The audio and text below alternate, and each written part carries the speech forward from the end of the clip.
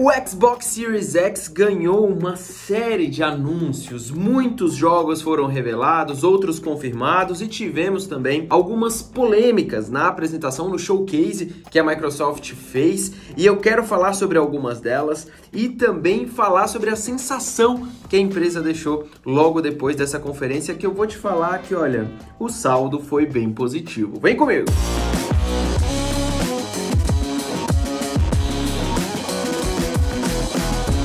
Pois é, meus amigos, como vocês sabem, a nova geração de videogames está chegando aí, PlayStation 5 está quase entre nós e o Xbox Series X, que é o novo console da Microsoft, vai chegar também e considerado aí por muitos e pelos números em si, né, pelos números comprovados ali, o console mais poderoso de todos, absolutamente algo que a gente nunca tinha visto na indústria de videogames. Porém, na última, na última semana a gente viu uma conferência do Xbox que foi voltada para jogos. Né? Diferente de outros momentos onde a gente viu a Microsoft falar muito sobre os números e a capacidade técnica do console que vai ser lançado aí no final do ano, a gente viu um vídeo focado mesmo em todos os lançamentos que vão vir. Boa parte deles a gente já sabia, muitos rumores estavam ali já em volta desses títulos como por exemplo Fable, que foi uma das revelações no finalzinho, a última grande revelação e que deixou essa pessoa aqui muito feliz porque eu gostava muito de Fable quando lançado lá nos consoles anteriores no 360, gostava demais quando ainda o Peter Molyneux era o cara que tomava conta do desenvolvimento da franquia. Mas cara, neste vídeo eu quero falar principalmente sobre duas coisas: os jogos que me chamaram mais atenção e aí é uma lista muito rápida e a polêmica em volta de Halo Infinite, que é o grande título do final final do ano, o grande título da Microsoft no ano, porque é realmente a volta da franquia mais famosa do Xbox. E tem muita polêmica envolvendo o jogo, porque muita gente na internet foi reclamar dos gráficos, muita gente foi reclamar da, do, da proposta do jogo que não ficou bem comunicada e eu vou falar isso agora neste vídeo. Mas antes eu queria falar para vocês sobre o evento em si, sobre todo o vídeo. Primeiro, que ele me deu uma sensação muito parecida com a E3, cara, do tipo, o jeito que as coisas estavam sendo comunicadas, talvez até o World Premiere, World Premiere, Console Exclusive, World Premiere. Eu tava com essa sensação de que realmente parecia muito do que estava sendo mostrado na E3. Até a questão dos trailers, tem, tem muito trailer, cara, muito jogo. Mas no final das contas, eu acho que a Microsoft falhou um pouco em comunicar a grandeza do que pode ser esse novo console essa nova geração para eles. Por quê? Porque no final a gente viu que a repercussão mais forte da, da, da conferência foi realmente é, os gráficos um pouco abaixo do esperado do Halo Infinite, as pessoas não sabendo direito sobre o que, que o jogo iria ser e tudo mais. Não à toa, depois a gente viu tudo ser mais esclarecido em uma entrevista que os desenvolvedores é, da 343, da 343, que é a desenvolvedora do Halo Infinite, deram depois, falando sobre mais detalhes do jogo. E aí, eu vou fazer aqui uma, uma, uma ponderação em tudo. Eu acho que é normal a galera ter esse esse frisson, porque realmente os gráficos mostrados não foram incríveis, principalmente para um evento que vai falar sobre a nova geração de consoles, né?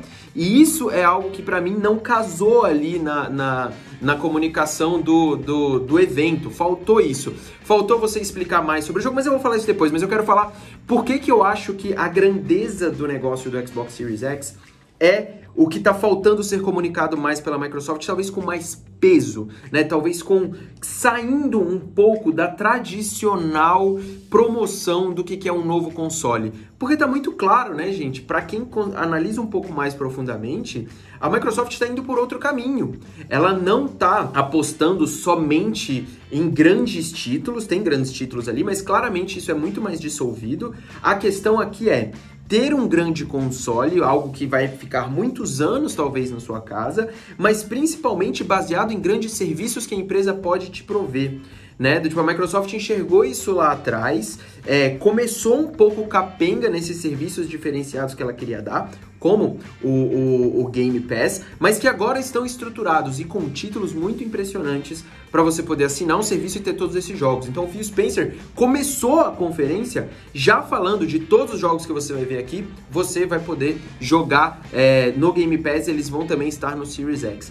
Cara, pensando nisso, é um, dependendo do preço, obviamente, do console, cara, é um investimento muito bom para quem é fã de videogames.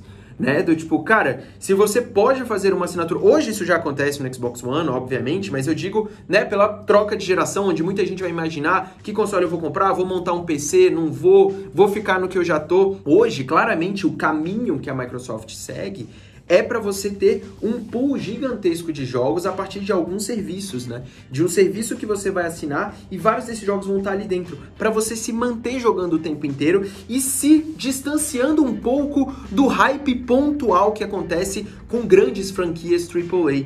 E por incrível que pareça, a franquia AAA, a grande franquia, foi o calo da Microsoft aí nessa, nessa, nessa conferência que foi o Halo Infinite. É, então, eu queria primeiro deixar isso do tipo, eu entendo a visão um pouco negativa que ficou, que acabou ficando na internet depois por causa do, do, é, do jeito que o evento foi mostrado. E claro, cara, o carro-chefe era o Halo, não dava para ser daquela forma, mas eu acho que tem muita coisa interessante aí dentro. É, nos próximos meses a gente deve ver a Microsoft desenvolver um pouco mais essa, essa comunicação sobre o Game Pass sobre como você vai poder jogar em vários lugares diferentes. Ela já vem fazendo isso muito, mas como este momento, esta conferência era a conferência dos jogos, deveria ter sido onde eles perderiam mais tempo explicando essa possibilidade para o Series X e para um novo público, porque sempre é o objetivo de todo negócio, é você ser fiel ao seu público que está lá, o nichado, e também trazer novas pessoas. Então eu acho que falhou um pouco nisso.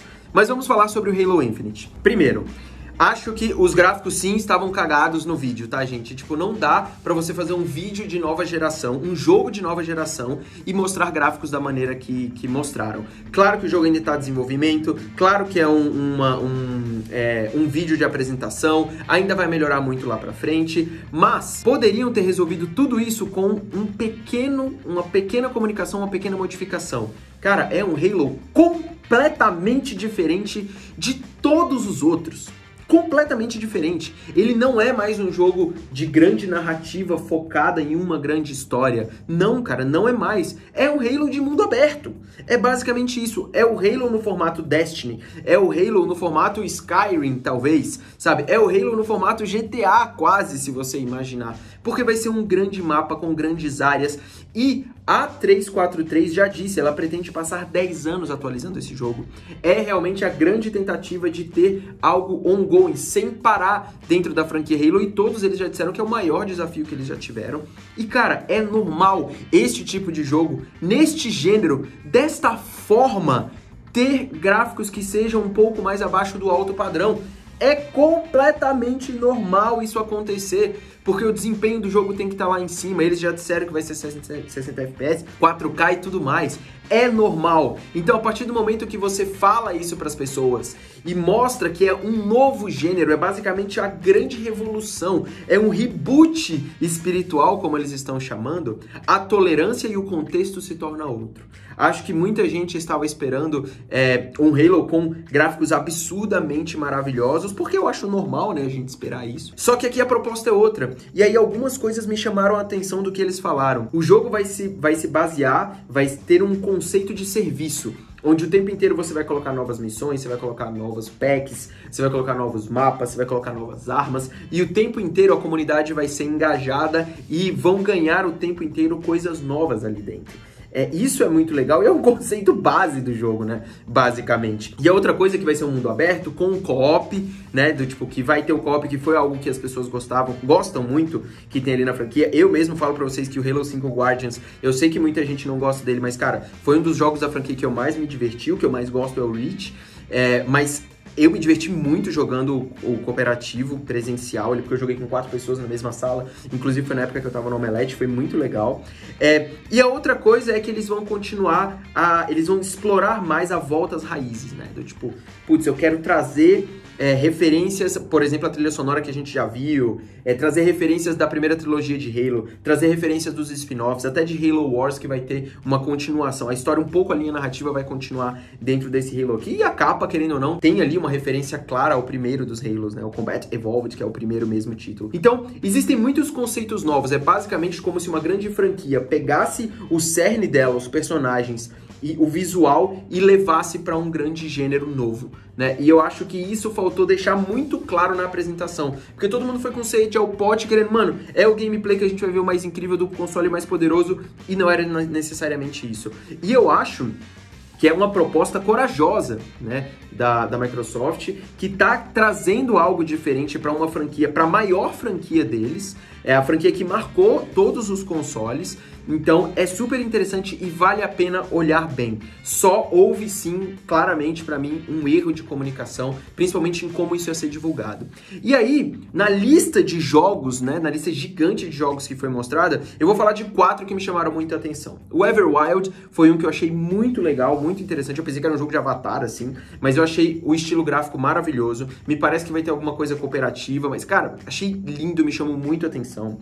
O Avowed, que é da Obsidian, é, cara, é um RPG da Obsidian, eu acho que não tem muito o que dizer. É realmente algo que vai ser impressionante. Eu já gostei pra cacete do trailer, então já me chama atenção isso. De, é um dos jogos que eu fiz, wow, isso aqui eu quero, quero ver e quero jogar. E o outro, que é um dos menores, é o The Gunk. Achei lindo demais o jogo. Lindo demais, lindo, lindo, lindo demais. É a galera que fez o Steam World.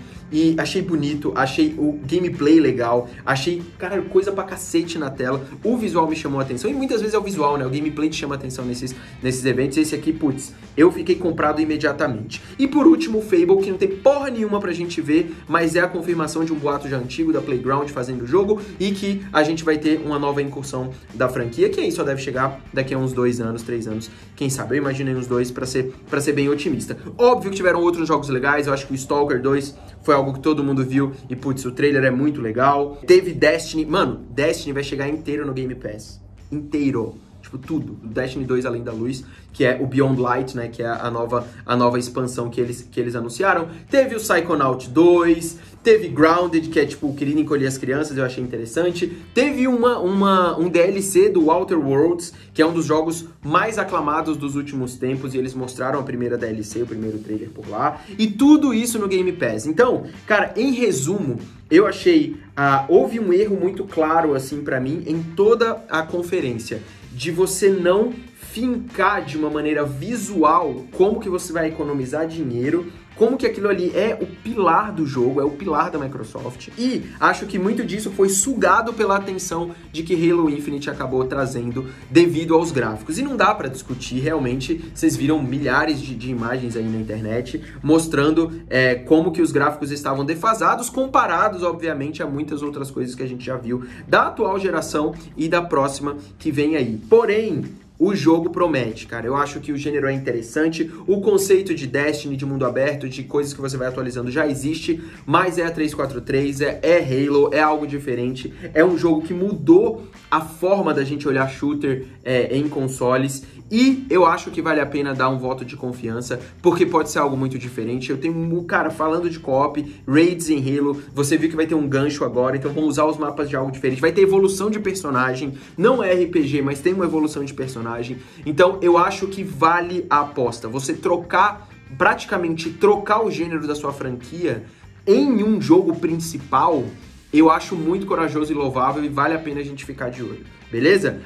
Dito tudo isso, Fico aqui um pouco dividido mais ainda depois de refletir sobre todos esses serviços e esses jogos em relação às melhores escolhas daqui para frente. Porém, as melhores escolhas que eu quero dizer, PS4, um, o PS5, um PC ou Xbox. Cara, essa pergunta todo mundo vai ter, eu acho, daqui para frente. Mas o que ficou mais claro para mim ainda é que são propostas muito diferentes. Não são dois lados de uma mesma moeda, são propostas muito diferentes. O Xbox parece estar indo para algo que seja um pouco mais massivo, com muitos títulos espalhados e a possibilidade de você ter acesso a todos eles a partir de alguns serviços, com um console muito poderoso sim, mas que você vai poder jogar em outras versões menos poderosas. E o PlayStation investindo muito em grandes franquias, né, em grandes títulos, em coisas que realmente movem multidões.